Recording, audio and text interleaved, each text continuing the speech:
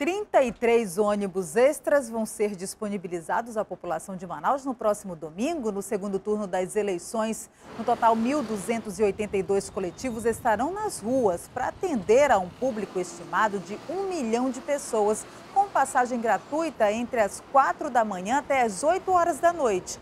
Inicialmente, os ônibus extras vão circular na área da Ponta Negra por conta da demanda.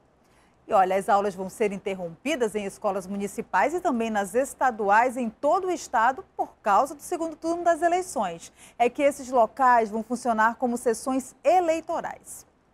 Essa escola particular, na Betânia, Zona Sul de Manaus, é um dos menores colégios eleitorais da capital. Ela faz parte de uma rede de instituições públicas e privadas cedidas à Justiça Eleitoral para as eleições. Ao todo, são mais de 400 escolas municipais e estaduais na capital e no interior verifica toda a parte da, do prédio, questão da iluminação, das instalações elétricas, se os ar-condicionados estão funcionando, se as portas, as janelas, as fechaduras estão tudo ok quanto à segurança, para que quando o TRE chegar com a sua equipe, com o seu maquinário, esteja totalmente organizado. Por causa do processo eleitoral, as escolas são cedidas nesta sexta-feira e começam a receber as urnas eletrônicas. As aulas vão ser interrompidas e retornam a partir de segunda-feira, mas os alunos não serão prejudicados. O Tribunal de Justiça do Amazonas apresentou uma nova plataforma digital para agilizar o trâmite dos processos do Judiciário em todo o estado. A atualização foi desenvolvida pela Comissão de Gestão de Tecnologia da Informação do Tribunal que nesse primeiro momento, além de investir em tecnologias, também vai treinar e capacitar funcionários que devem atuar no monitoramento desses processos.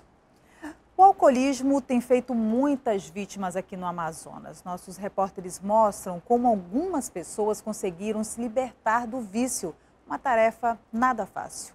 Uma libertação. Essa mulher que não quer se identificar consumiu bebida alcoólica por oito anos. Teve o primeiro contato aos 15. Longe do vício, há mais de 20 anos, ela conta que o álcool destruiu a família. E eu gostava do, do prazer que a bebida alcoólica me dava, né? Aquela alegria momentânea. E depois de passar horas ouvindo música e bebendo, eu vinha a tristeza e sempre vinha muito choro, muita lágrima. Era uma tristeza que eu não sabia explicar. Esse outro homem que também não quer se identificar está livre do vício há 40 anos. Ele parou de beber aos 28, apesar de ter sido muito difícil. No início eu tive dificuldade, eu passei por três recaídas, é, mas eu voltei, eu reingressei na, na, no grupo, né? E passei a seguir com mais responsabilidade, muito mais a sério esses lembram, né? Evite o primeiro gole, até os dias de hoje. Já se passaram 33 anos sem o álcool.